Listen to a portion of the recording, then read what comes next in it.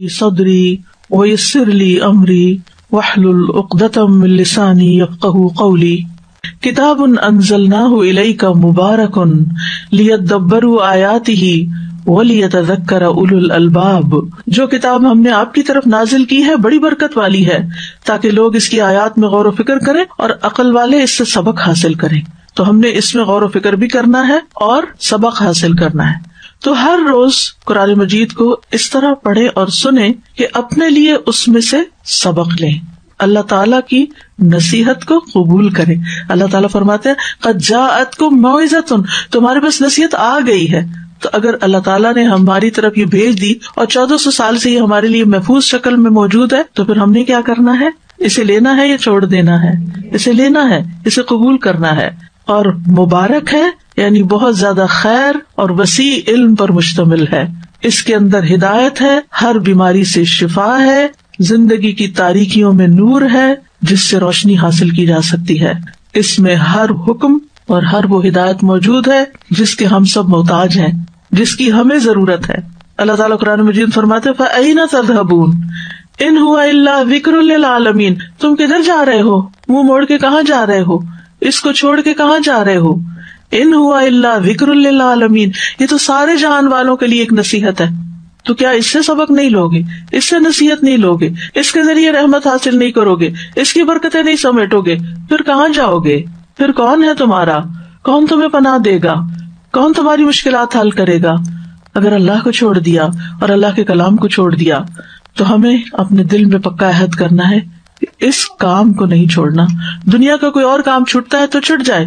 लेकिन इस रस्सी को नहीं छोड़ना। और फिर इसको पकड़ना कैसे है? इसमें गौर व फ़िक्र करना है। इबन तैमिया कहते हैं, जो हिदायत की गरज से कुरान में तदब्बर करता है, उसके लिए हक का रास्ता वाजे हो जाता है, उसको सच्चाई मिल जाती है। इब्न कैम कहते हैं, किसी भी बंदे के लिए कुरान में तदब्बर करने और उसमें बहुत ज़्यादा गौर फ़िक्र करने, उसकी आयात के मानी पर अपनी फ़िक्र को मुजतमा करने से बढ़कर कोई चीज़ इसकी दुनिया और आखिरत की ज़िंदगी के लिए इससे ज़्यादा मुफीद नहीं हो सकती और इसकी निजात के लिए इससे ज़्यादा करीब नहीं हो सकती।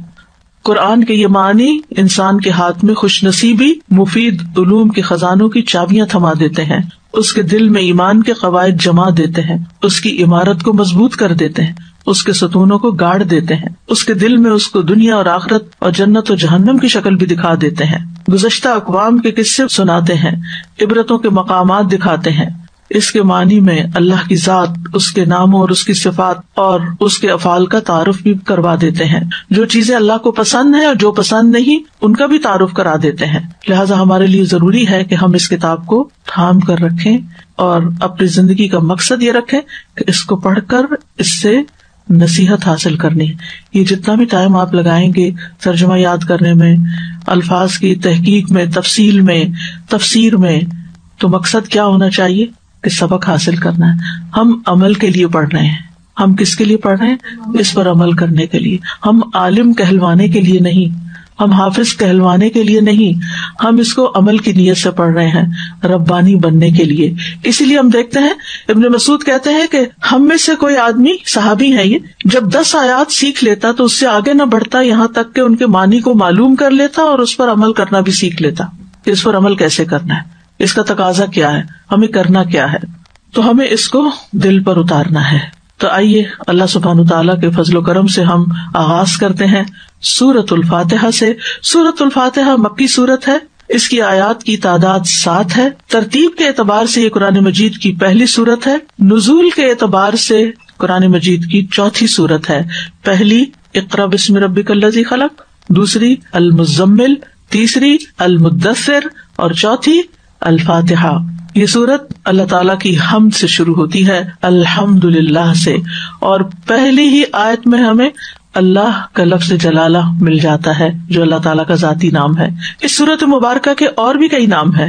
अल्फातिहा के अलावा इसको फातिहतुल किताब भी कहा जाता है। उम्मुल कुरआन, उम्मुल किताब असब अल मसानी अल कुरआन अजीम, सूरतुल हमद अशिफा इसके अलावा सलात भी इसको कहा गया है।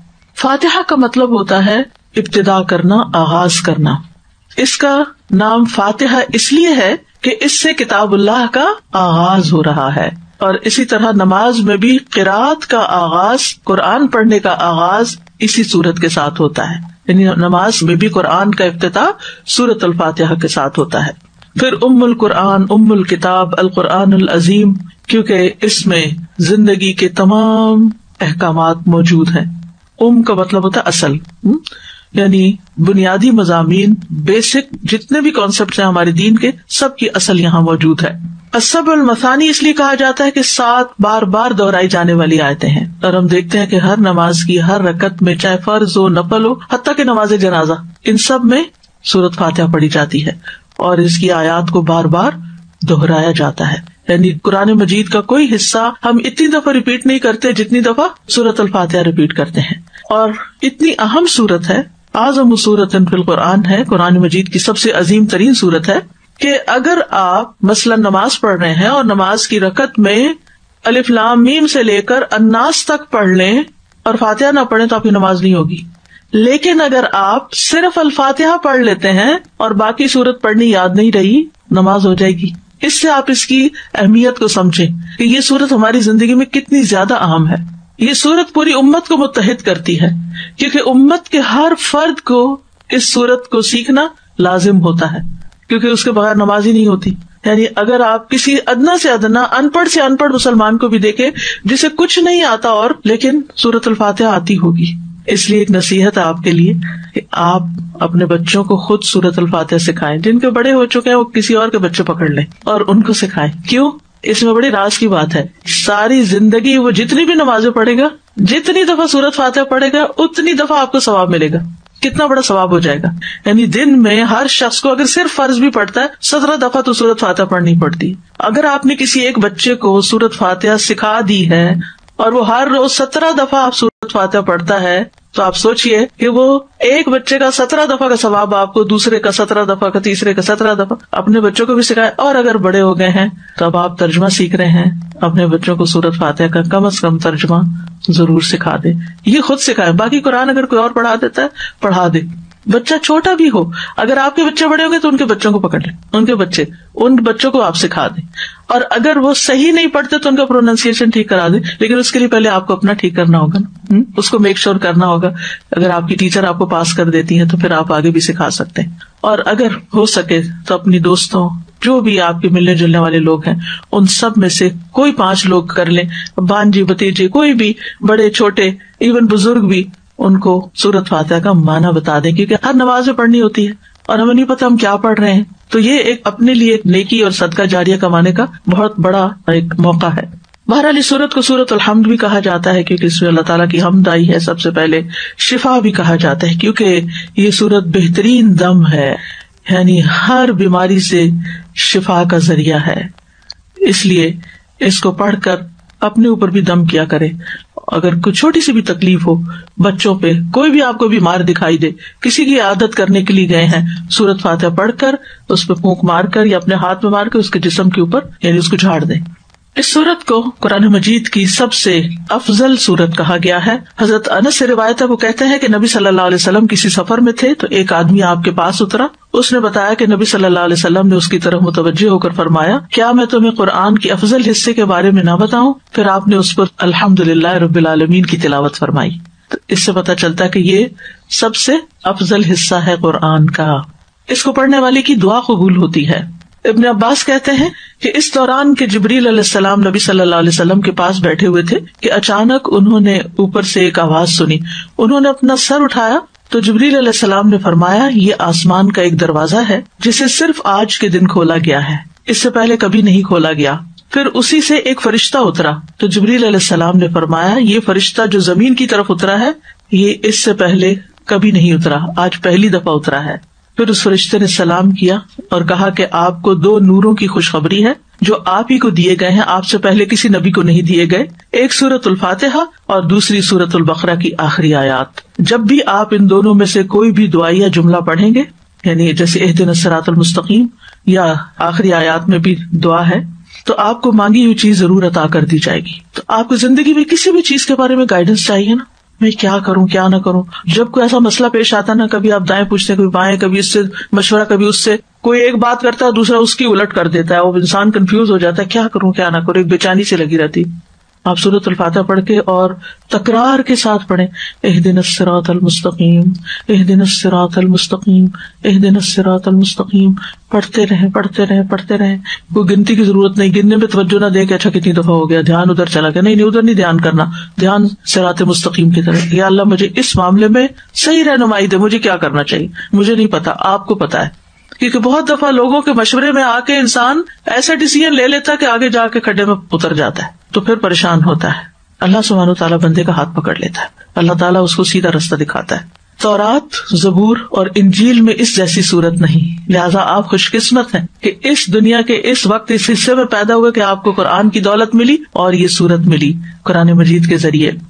और फिर इसको वल कुरान अजीम भी कहा गया, जैसे सूरत अल हिजर में आता है, वलकद आतना का सब अमिनल मसानी वल कुरान अजीम। और बिलाशुबा यकीन हमने आपको बार बार दोहराई जाने वाली सात आयते और बहुत अजमत वाला कुरान अता किया है। अबू हुरैरा कहते हैं कि रसूल अल्लाह ने फरमाया, उम्मुल कुरान यानी सूरत अल फातिहा ही सब मसानी और कुरान अजीम है। यानी चूँकि ये पूरे कुरान के एक तरह से खुलासा है, लिहाजा कुरान अजीम भी कहा गया इसका नाम। ये लाजमी शिफा देने वाली सूरत है। अबू सईद खुदरी कहते हैं कि हम एक सफ़र में थे। हमने एक कबीले के नज़दीक पड़ाव किया। वहाँ एक लौंडी आई और कहने लगी, कबीले के सरदार को बिच्छू ने काट लिया है और हमारे कबीले के मर्द मौजूद नहीं है। क्या तुम में से कोई दम करने वाला है? तो हम में से एक शख्स साथ चला गया। हम उसे दम करने वाला ख्याल नहीं करते थे। हमारा नहीं ख्याल था कि इसको कोई दम आता है। लेकिन उसने जब दम किया तो सरदार तंदुरुस्त हो गया और उसने उसे तीस बकरियाँ देने का हुक्म दिया। नीज हमें भी दूध पिलाया नहीं जितने भी मुसाफिर थे सबको दूध पिलाया। जब वो शख्स वापस आया तो हमने उससे पूछा, क्या तुम अच्छी तरह दम करना जानते हो? उसने कहा, मैंने तो सिर्फ़ उम्मुल किताब पढ़कर दम किया था। सूरत फातिहा पढ़ी थी, लेकिन यकीन के साथ पढ़ी थी ना। अल्लाह से मदद मांगी थी। तो जब कभी मदद चाहिए हो ना अल्लाह की तो फिर कसरत से पढ़ा करें इया का नाबुदु इया का नस्तीन इया का नाबुदु इया का अल्लाह तेरी इबादत करते हैं, तुझसे मदद चाहते हैं। चाहे अपनी जात का कोई मसला हो, बीमारी वगैरह, चाहे औलाद का मसला हो, चाहे कोई जॉब का बिज़नेस का कोई भी मसला हो तो अल्लाह तेरी मदद चाहिए, तू मदद कर। कहीं भी फंसे, कहीं भी अटके, कहीं भी मुश्किल में आए। अब आप देखें कि वो एक आम सा शख्स है। हमारे यहाँ ये तस्वुर पाया जाता है कि दम करने वाला को बहुत बड़ा बुज़ुर्ग होना चाहिए। ये शख्स दिखाई नहीं दे रहा था क्योंकि बहुत बड़ा बुज़ुर्ग है। लेकिन उसने जब इखलास के साथ इस सूरत को पढ़ा उसी में अल्लाह ताला ने शिफा दे दी। लिहाजा किसी भी बीमार पर पूरे यकीन के साथ पढ़े। सिर्फ़ कोई वजीफा समझ कर नहीं। फिर आप देखिए कि नमाज़ का रुकन है। इसके बगैर नमाज़ नहीं होती। रसूल अल्लाह सल्लल्लाहु अलैहि वसल्लम ने फरमाया, ला सलाता लिमन लम यकरा बिफातिहतिल किताब। जिस शख्स ने सूरत फातिहा नहीं पढ़ी, उसकी नमाज़ ही नहीं हुई। एक और रिवायत में आता मुस्लिम अहमद की। ये तो सही बुखारी की रिवायत थी। दूसरी रिवायत में हर वो नमाज़ जिसमें सूरत फातिहा ना पढ़ी जाए, वो नाकिस है नाकिस है नाकिस है, मुकम्मल नहीं। नमाज़ मुकम्मल ही नहीं होती, जब तक सूरत फातिहा ना पढ़ी जाए। सूरत फातिहा से कुरान का आगाज़ क्यों किया गया? क्योंकि जो कुछ कुरान मजीद में आगे बयान होना था, उस सबको इजमाली तौर पर यहाँ बयान कर दिया गया, जिसके आगे मैं वजाहत करूँगी। हम सब के लिए अल्लाह सुबहान तला का एक हुक्म है कि फ़ैदा करातल फस्ताइद बिल्लाजीम कि जब आप कुरान पढ़ने लगे तो शैतान मरदूद से अल्लाह की पनाह मांग लिया करें। तो ये एक अदब है, लाजमी, ज़रूरी, अल्लाह का हुक्म है कि कुरान मजीद पढ़ने से पहले हमें तावुज पढ़ना है। ताउज नहीं होता ये, बाज लोग इसको ताउज कहते हैं। तावुज है। तावुज का मतलब होता है अल्लाह ताला की पनाह लेना, अल्लाह ताला की हिफाजत, तलब करना, इसको इस्तेआजा भी कहते हैं। हर शर को हटाने के लिए और हर खैर को पाने के लिए। इबन कईम कहते हैं, अस्ताईज बिल्लाह का माना है, मैं अल्लाह की जात के साथ तहफ़ चाहता हूँ और उसके साथ हिफाजत चाहता हूँ। और उसकी तरफ़ पनाह लेता हूँ। चाहते हैं। अल्लाह सुबहान तला शैतान को हमारा खुला दुश्मन बताता है। वो दुश्मन है, उसके दुश्मन समझो। यानी अदुबुल्लकुम फतखिजू अदुबा उसे दुश्मन बनाओ, समझो दुश्मन। तो जब हम उसको दुश्मन समझते हैं तो फिर हमें उससे कौन बचा सकता? वो तो कभी हमें नज़र भी नहीं आता। नज़र आने वाली चीज़ को तो इंसान किसी चीज़ से हटा लेता है या दिखता तो सोचता है इंसान अब इस चीज़ के पीछे आ गया हूँ कवर कर लिया अपने आप को तो अब मैं महफूज हो गया हूँ। वो तो नज़र भी नहीं आता। और वो हमारी दुश्मनी किए चले जा रहे उसकी दुश्मनी है क्या? सीधे रस्ते से हटाता अपने आप को बड़ा समझता है। हाँ, दुनिया में इन्वॉल्व करता है। दुश्मन है वो उसने क्या किया था? आदम सलाम को जन्नत से निकलवाया था। अब वो आदम की औलाद का भी दुश्मन है। अब वो आदम की औलाद को वापस उस जन्नत में नहीं जाने देना चाहता, क्योंकि वो खुद भी निकाला गया था। अब उसको आदम और आदम की औलाद पर गुस्सा है। वो कहता है कि ये कोई ऐसा काम ना करे कि जिससे ये जन्नत में जा सके। तो जन्नत का रास्ता किससे खुलता है? इल्म के रस्ते से। जब आप इल्म हासिल करते हैं, इल्म के रस्ते पर चलते हैं तो हदीस में आता है ना मनसला का तरीकन यलतमी सुफी ही इल्मन सहल अल्लाह तरीकन इल जन्ना। जो ऐसे रस्ते पर चलता है, जिससे इल्म हासिल करे तो अल्लाह ताला सहल अल्लाह तरीकन इल जन्ना, उसके लिए जन्नत का रास्ता आसान कर देते अब वो क्या करता है? इल्म के रास्ते पे आके बैठ जाता है। सबसे मुश्किल काम बताता है इसको। वैसे भी बच्चों को भी आप दे छोटे छोटे बच्चों को भी स्कूल जाना मुश्किल लगता अच्छा नहीं लगता। कोई बच्चा सुबह नहीं उठना चाहता और नहीं जाना चाहता। और खासतौर पर छोटे छोटे बच्चे भी जब पहली दफ़ा जाते हैं तो कितना रोते हैं, कितना तंग करते हैं। हम्म? अगर आप उन्हें कहे, चलो पार्क, रोएँगे? कोई बच्चा कहे तो मैंने नहीं पार्क जाना। सब चलेंगे। चलो शॉपिंग चलते हैं, मॉल चलते हैं, सब चलेंगे। चलो स्कूल चलते हैं, मेरे पेट में दर्द है, नहीं जाना चाहते। इल्म दुनिया का भी, क्योंकि दुनिया का इल्म हासिल करके भी इंसान अपनी ज़िंदगी आसान करता है, बहुत से शर से बचता है। और वो इल्म जो जन्नत में ले जाए इंसान को, उसको आसान करे, उसको तो बहुत मुश्किल बनाता है। लिहाजा कुरान का पढ़ना जो है, अल्लाह ताला का कुर्ब अता करता है, जन्नत की तरफ़ ले जाने वाला काम है तो फिर क्या शैतान आसानी से करने देगा? नहीं। लिहाजा सबसे पहले तो वो रस्सी काटो जो शैतान की है, उसको तो पीछे करो और फिर इस रस्ते पे चलो। तो इसलिए जब हम सबसे पहले कुरान मजीद खोलते हैं पढ़ने के लिए तो अऊजुबिल्लाशैतान रजीम पढ़ते हैं। इसके अलावा भी इसके सीखे हैं अऊजुबिल्लासमीम रजीम।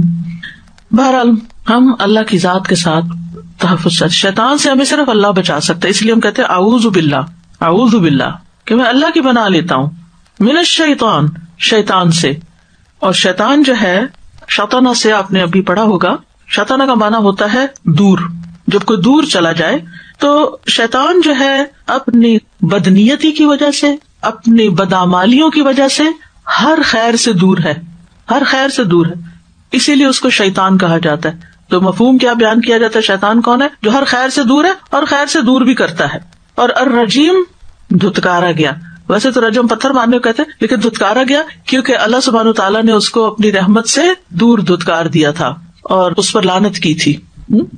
तो शैतान से पनाह मांगने का मतलब यह है कि मैं शैतान के शर से अल्लाह की पनाह लेता हूँ कि कहीं वो मुझे मेरे दीन में नुकसान न पहुँचाए और मुझे उस हक से न रोक दे जिसको इख्तियार करना अल्लाह ने मेरे लिए लाजिम किया। ये कोई डेफिनेशन नहीं है, इसे मैं मफहूम बता रही हूँ। अउजुबिल्लाशैतान रजीम। तो आप देखिए कि जब इंसान अउजुबिल्ला पढ़ता है तो अपने खालिक से कनेक्ट हो जाता है, अपने रब से कनेक्ट हो जाता है। दूसरी बात अपनी आजजी का इतराफ करता है। मैं कमज़ोर हूँ यारब मैं नहीं इससे बच सकता। मैं शैतान के मुकाबले में बहुत कमज़ोर हूँ, क्योंकि मेरे अंदर मेरा नफ्स भी है, मेरी औलाद भी है जो मेरी कमज़ोरी है, मेरा माल भी है जिसकी मोहब्बत में मैं शदीद गिरफ़्तार हूँ। तो ये तो मेरे पाओ की रस्सियाँ हैं, ये मुझे कभी भी तेरी तरफ़ नहीं आने देते। तो शैतान मुझे इन्हीं में उलझाता है। मैं कमज़ोर हूँ, तू ताकतवर है, तू मुझे इस जाल से बाहर निकाल। और फिर जब इंसान शैतान की रस्सी काट देता है ना, अल्लाह की पनाह लेकर तो फिर अल्लाह की इतात आसान हो जाती है। तो ये काम आपके लिए आसान हो जाएगा। कुरान का पढ़ना, याद करना, समझना और फ़िक्र करना, इस पर अमल करना। फिर यह है कि चूँकि शैतान इंसान का दुश्मन है तो इंसान दुश्मन से हमेशा चुकन्ना रहता है। लिहाजा अउजुबिल्ला पढ़ने का मतलब यह है कि आपको एहसास है कि आपका कोई दुश्मन भी है और उससे आप बचना चाहते हैं। और फिर शैतान जो है ना कुरान पाक पढ़ने से तो रोकता ही है, लेकिन जब आप पढ़ने लग जाते हैं ना, तब भी वो वस्व से डालता है। तुम्हें नहीं याद होना, ये बहुत मुश्किल काम है। तीन साल लग जाएँगे पूरा होते होते। ये भी काम है, वो भी, तुम्हें तो ट्रैवल भी करना होगा और तुम्हें तो ये मसला भी होगा वो तो ये तो काम नहीं हो सकेगा, इसलिए शुरू ही नहीं करो। नहीं, दुनिया के सारे काम होते रहते हैं। जितना भी हो गया, अल्लाह ताला उसमें भी हिदायत दे देगा इनशाला और फिर आप देखिए कि अउज बिल्ला जब हम कहते हैं तो अल्लाह सुबहान तला का ये इसमें आज़म है, अल्लाह ताला का ये नाम है, जाती नाम है, जिसमें उसकी सारी सिफात पाई जाती। जितने भी और नाम है ना, वो सारे आके यहाँ जमा हो जाते हैं। तो जब हम अउज बिल्ला कहते हैं तो अल्लाह ताला को हम पकड़ते हैं, जो सबसे मज़बूत सहारा है। और फिर शैतान से बेजारी का इजहार भी करते हैं। उसको साथ ही धुतकारा हुआ भी कहते हैं। सिर्फ़ शैतान नहीं कहते, बल्कि क्या कहते हैं? शैतान, रजीम, धुतकारा हुआ, नफरत का इजहार भी करते हैं। और फिर आप देखे कि शैतान जो है ना, कुरान से पता चलता है कि सिर्फ़ वो इबलीस ही नहीं है, और भी है। हम्म? बिन्नास में क्या आता है? कुलौजबिरबिन्नास मलिकन्नास इलाहिन्नास मिन शर्रिल वसवासिल खन्नास अल्लदी वसविसु फ़ी सुदूरिन्नास मिनल जिन्नति वन्नास जिन भी है और इंसान भी है कुछ कुछ इंसान भी शैतान है कुछ इंसान भी हमारे दुश्मन है और बाज अवकात वो बड़े प्यारे दुश्मन होते हैं जिनसे हम मोहब्बत करते हैं वो वो होते हैं जो अपनी मोहब्बत के वास्ते देकर इस रस्ते से रोकते हैं वो कहते क्यों अपनी जान पे जुल्म कर रही क्यों हमने आपको थका रही क्यों रातों को जागती हो? क्यों ये इम्तिहान के चक्कर में पड़ गई? नहीं। इंसानों में से भी जो आपको इस रास्ते से रोके, वो आपका दोस्त नहीं है। ये याद रखिए। जो आपको कुरान पढ़ने से रोके, वो आपका खैर ख्वाह नहीं है। वो आपसे हकीकत में मोहब्बत नहीं करता। वो सेल्फिश है कि आप अपना वक्त इसको ना दें, सब उसी को दे दें।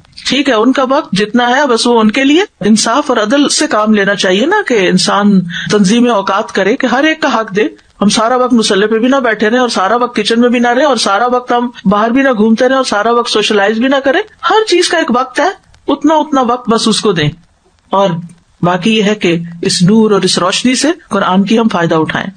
याद रखिए कि शैतान बहुत सारे हैं, कुछ नज़र आते हैं, कुछ नज़र नहीं आते। बड़े